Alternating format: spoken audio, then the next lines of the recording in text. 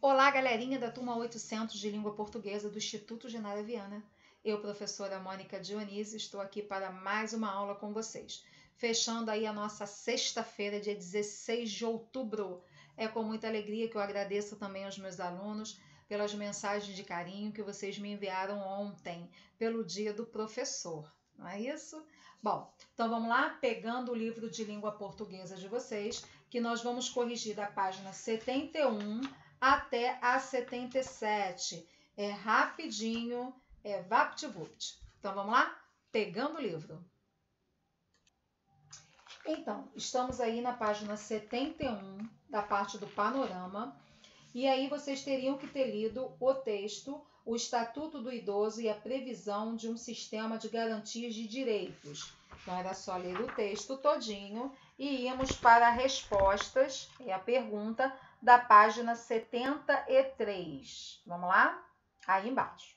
Aí nós temos, sabendo que o texto foi dividido em parágrafos, porque a gente está falando de um estatuto, e aí ele trouxe um vocabulário também bem bacana, que eu espero que vocês tenham lido um pouquinho esse vocabulário. E vem a questão número um que diz assim: de acordo com o texto, por que é preciso existir uma lei específica de proteção aos idosos? Ah, galera, a gente sabe o que, não é? Os idosos, assim como as crianças e os adolescentes, eles são considerados grupos vulneráveis, ou seja, né, eles precisam de maior atenção e cuidado, já que por conta da questão etária, ou seja, a faixa etária deles, pode enfrentar problemas de saúde, exploração, abuso, abandono e até a carência, dos quais, em geral, não conseguiram nem sair sem o auxílio de outras pessoas. Então, a gente sabe que é um momento bem dificultoso, né? E que eles precisam de muita atenção. Vamos para a página seguinte, página 74. Na página 74, o texto diz assim, o número 2. Vou trazer para cá para vocês. Opa, só vou dar aqui um zoom e vou trazer para cá. Ó. O texto 2 diz assim: o texto deixa claro, questão 2, o texto deixa claro que o processo de aprovação de uma lei, como o Estatuto do Idoso, não é algo simples nem rápido. Em linhas gerais, quais foram as etapas necessárias para a criação dessa lei? Complete os espaços a seguir. Então, em 1997, diz o seguinte: foram apresentados dois projetos ao Congresso Nacional, elaborados por congressistas em parceria com entidades representativas de aposentados e pensionistas. Isso está no texto, tá? Ano de 2001, foi formada uma comissão especial na Câmara dos Deputados que convocou entidades civis das cinco regiões do Brasil para discutir os projetos. 2003, após transmitir por longo transmitar, desculpa, por longo tempo no Congresso, o Estatuto do Idoso foi aprovado. Em 2004, o Estatuto passou a vigorar a partir do início desse ano de 2004. Questão número 3. Assinale e comente os casos a seguir em relação à concordância, à transitividade, se são transitivos diretos e ou indiretos ou intransitivos, ao sentido e à regência, e se os complementos vêm ou não introduzidos por preposição. Então, a concordância do nascer está na terceira pessoa do singular, concordando com o seu sujeito. Transitividade e sentido está empregado como verbo transitivo indireto, no sentido de originar-se de. E a regência, o complemento vem introduzido pela preposição de, da crítica. Quando temos o verbo trazer, a concordância está, opa, rapidinho aqui, está na terceira pessoa do singular, concordando com o seu sujeito que retoma a lei. Depois eu tenho a transitividade, está empregado como verbo transitivo direto e indireto. E a regência, o complemento direto não necessita de preposição. Uma, uma proteção específica. Já o indireto vem introduzido pela preposição a ao grupo de pessoas idosas, certo? Próxima página, a gente vai estar falando aqui. Ainda vem mais uma aqui para a gente fazer, que é o verbo trazer. Concordância está na terceira pessoa do plural, concordando com o seu sujeito, propostas ou projetos de lei.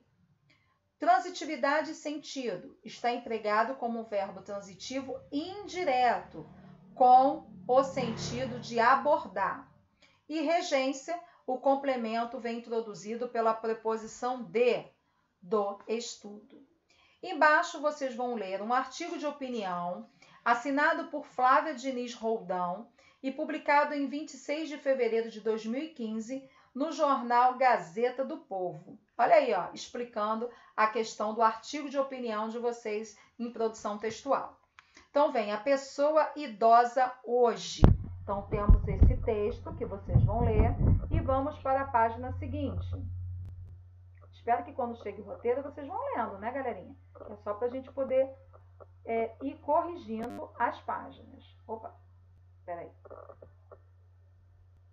Vou voltar aqui. Rapidinho.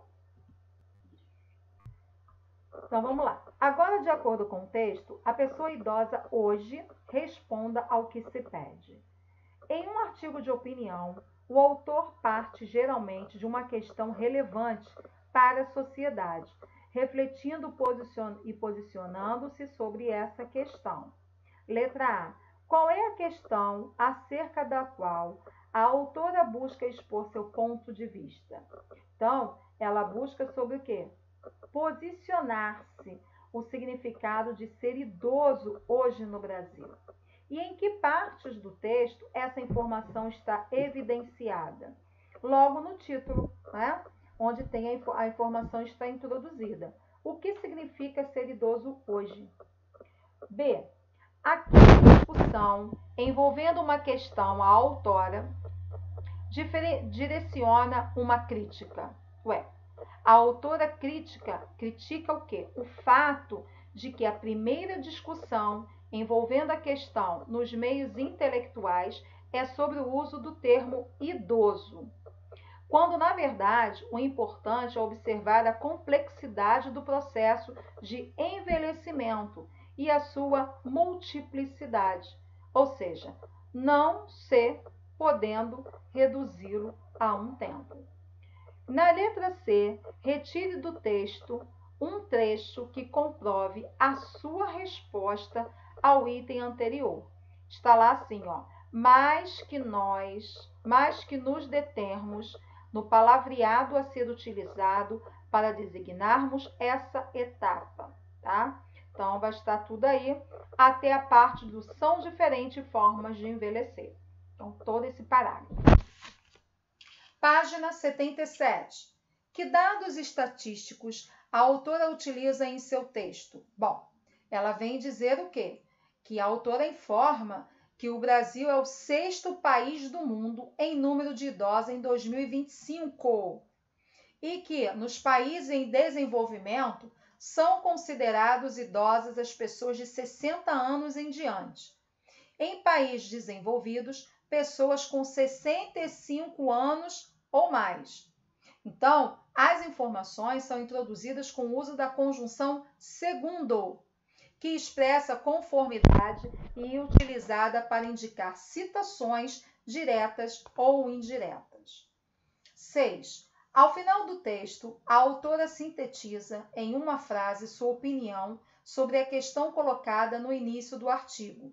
Retire do texto a frase em questão. 1. Hum, ser idoso, na atualidade, pode ter muitos diferentes significados e possibilidades, ou limites.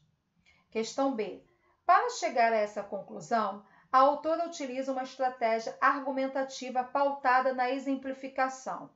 Como isso é feito no último parágrafo? Ela lista exemplos de algumas formas diferentes de envelhecer, para demonstrar que o envelhecimento pode ter diversos significados, não é? E aí ele cite um dos exemplos utilizados pela autora.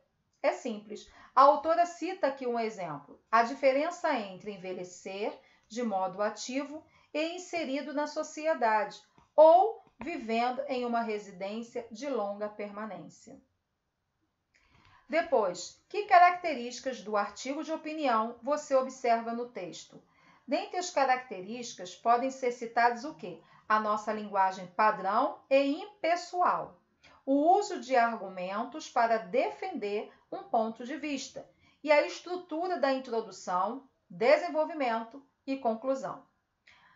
Questão 8. Você concorda com o posicionamento da autora sobre a questão colocada no início do texto em relação ao uso do termo idoso?